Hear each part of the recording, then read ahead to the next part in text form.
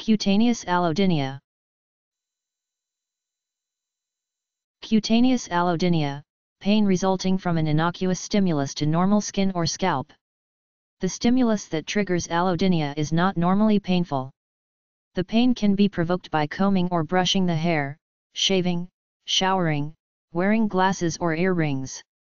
The pressure of a single strand of hair reportedly can feel like a jab with a white-hot knife. Cutaneous allodynia is believed due to a transient increase in the responsiveness of central pain neurons that process information arising from the skin.